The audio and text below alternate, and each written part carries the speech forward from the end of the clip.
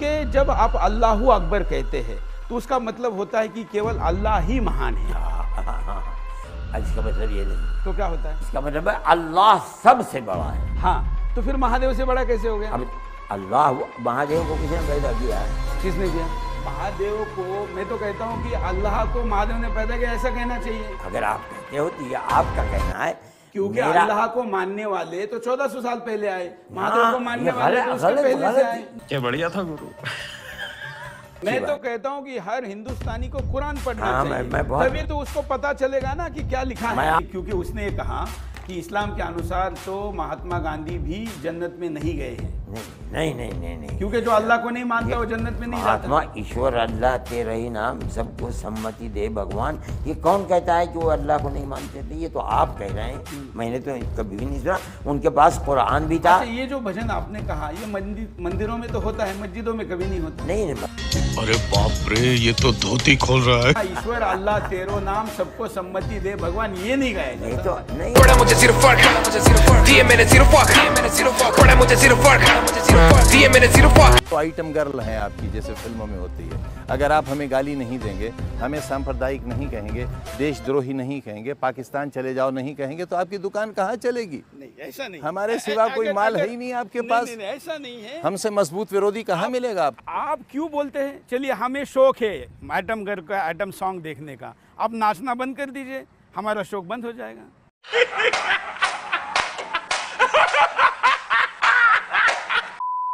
काम इंटरव्यू लेना हमारा आपका काम। बड़ा आसान काम है। जहाँ पर प्रोफेशन दिखाना है वहाँ पर प्रोफेशनल हो जाओ। जहाँ पर राजनेता बनना है वहाँ पर राजनेता हो ये आप करते हो? ये आप करते हो? जहाँ इंसान बनना है इंसान बन जाते हो जहाँ जर्नलिस्ट बनना है वहाँ जर्नलिस्ट बन जाते हो? हाँ हाँ लेकिन आतंकवादी समझ तक नहीं बनते कहीं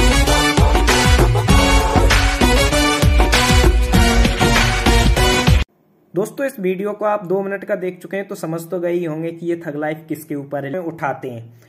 ऐसा मैं इसलिए कह रहा हूँ कि उनके प्रोग्राम बिंदास बोल पे कई बार बैन लगाने की भी कोशिश की, कई बार सीधे सीधे वो क्या क्या बोलते हैं, ये देख के आपको मज़ा आ जाएगा। इवन मैंने देखा तो मुझे तो बहुत ज़्यादा मज़ा आया। मैंने सोचा इसीलिए एक एपिसोड या एक थग लाइफ इनके ऊपर बनाई जाए। थोड़ा सा मैं सुरेश जी के बारे में भी यहाँ पे बता दूँ। सुरेश जी राष्ट्रीय स्वयंसेवक संघ के जब तीन वर्ष के थे तब से स्वयंसेवक हैं। उन्होंने कई सारे सेरेमनी में भी और उसमें भी भाग लिया है, जो पथ संचलन होता है। As a member of RSS he work for RSS newspaper Tarun Bharat मतलब उन्होंने जो आरएसएस का न्यूज़पेपर था, जो कि 1919 में शुरू हुआ था, तरुण भारत में भी काम किया फुल टाइम रिपोर्टर के रूप में। 2005 में उन्होंने पुणे में सुदर्शन न्यूज़ की स्थापना की और शुरू किया। उसके बाद उन्होंने नोएडा इस चैनल को शिफ्ट कर लिया। इस समय वो managing director and editor in chief हैं सुदर्शन न्यूज़ के।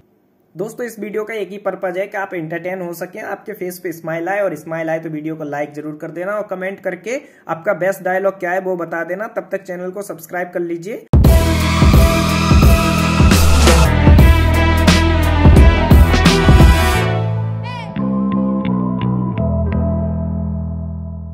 आतंकवादी का कोई मज़हब या कोई धर्म नहीं होता। क्यों ऐसा बार बार आप लोग कहते हैं? ऐसा वो बात- बेचारे तो वहाँ बहत्तर हुरों के लिए अपनी जान देते और आप कहते कि आप वो अरे मुसलमान बह- नहीं है। बहत्तर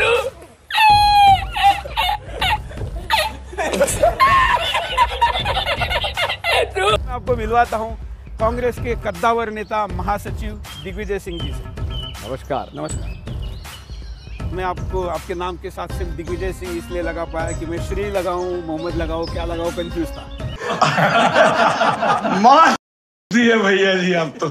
आपका बचपन से ही आरएसएस के साथ जुड़ाव रहा है? ये मैंने आपका और मैं संघ का हाँ। सदस्य था अच्छा। हूँ रहूँगा। अच्छा, ये तो बता के ये बता के मुझे कोई फ़ायदा नहीं चाहिए और बताने से होने वाला कोई भी नुकसान मुझे मंजूर इंडियन एक्सप्रेस में कॉलम पढ़ रही थी उन्होंने आपके चैनल पे कुछ दो तीन लाइन लिखी थी। तो कुछ लोगों का मानना है की ये टेंशन बढ़ा रहे हैं सोसाइटी में ऐसे ज़्यादा हिंदूवाद को बढ़ावा देके या किसी माइनॉरिटी के अगेंस्ट हिंदूवाद हिंदुस्तान में नहीं बढ़ाएँगे मैडम तो पाकिस्तान में बढ़ाएँगे क्या?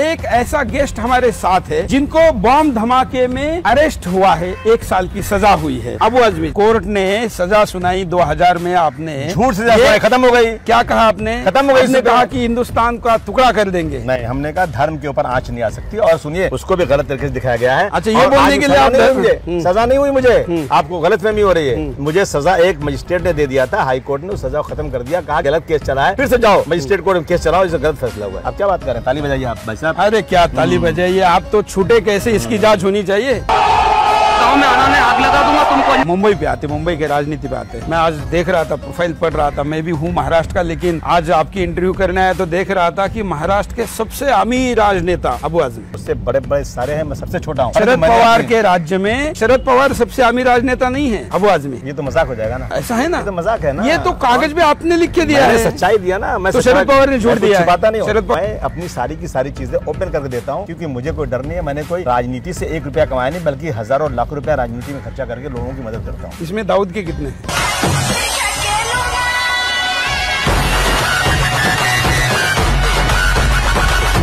अभी गड़बड़ कहा है ये ध्यान में? अबू आजमी के यहाँ सॉफ्टवेयर में गड़बड़ कहा है अभी ध्यान में। अभी आप जाकिर नायक का क्यों समर्थन कर रहे थे? क्योंकि आप तो औरंगज़ेब को फॉलो करते हैं। अरे बाप रे ये तो धोती खोल खोल रहा है। हमारे हामिद अंसारी साहब मदरसे से पास हो गया है। क्या हामिद अंसारी का नाम ले रहे हैं? जिनके डिप्लोमेट रहते हुए उनके राष्ट्रीयता पर शक लिखने उठाने वाली किताब लिखी गई है रॉके ऑफिसर के द्वारा। ये तो देखिए आप रॉके ऑफिसर ने कहा की आप ईरान के लिए काम करता था कि हिंदुस्तान के तो लिए काम करता था। जो आप जिसको और चाहे कह जिस रहे हैं जिस आदमी का जिना के बगल में फ़ोटो लग रहा है उस हामिद अंसारी का नाम आप ले रहे हैं। अरे फिर दस साल तक आपका उपराष्ट्रपति रहा है। वो तो ऐसे कैसे कितने रहेगा? संवैधानिक बलात्कार इस देश पर हुए? उसमें से एक वो भी था। अरे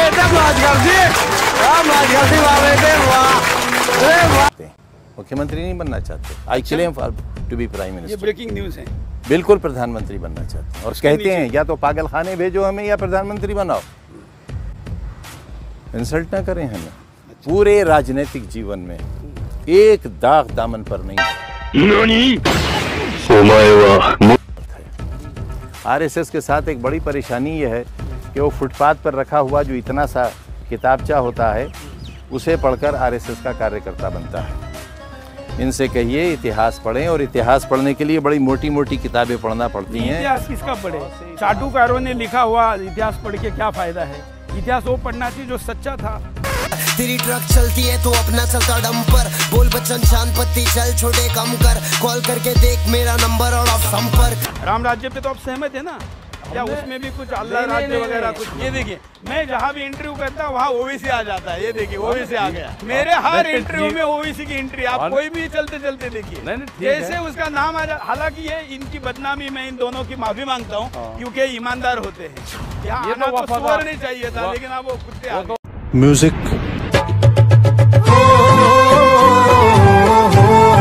अल्लाह अल्लाह वो जो आलू का पार्टी बदल लिया साला। जो किसान है वो बर्बाद। आलू कहते समय भी अल्लाह मुँह में है। आल, आल, ये गड़बड़ आलू। है, ये गड़बड़ है, ऐसा होता है देखिए। अब आलू कहने के लिए भी अल्लाह मुँह में आ रहा है राम राम सिब्बल जी। राम राम। भारत माता की जय। भारत माता की वंदे मातरम। वंदे मातरम। आज आपके साथ इंटरव्यू करने जा रहे हैं। हाँ, हाँ। लोगों ने बहुत सवाल पूछे हैं। हाँ आप भी पूछ लीजिए। हाँ तो वही आपके हम तो उन्हीं की तरफ़ से पूछेंगे। अच्छा, चलिए चलिए। हम तो आतंकवादियों की तरफ़ से नहीं पूछेंगे जैसे आप पूछते हैं।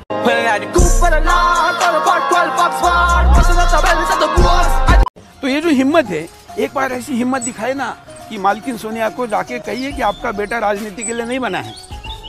ये तो आपका विचार है। मैं कहता हूँ राजनीति की बना है।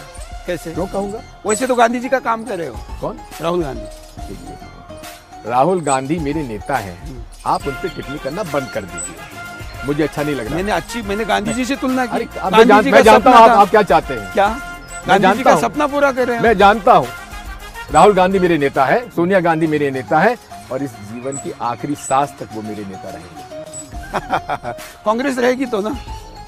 दिग्विजय सिंह कांग्रेस नहीं रहेगी तो भी कांग्रेस में रहेगा। चलिए ये तो स्वीकार किया आपने कि नहीं भी रह सकती है कोई बात नहीं। जो खत्म। सब छोड़ के आए सब छोड़ पीछे जाने का रास्ता बंद करके आए शिवाजी महाराज कहते थे बिल्कुल। अगर किला फतह करना है तो वापसी का रास्ता वापसी का रास्ता नहीं होना हमारा हमारे हीरो शिवाजी है बाबर नहीं है।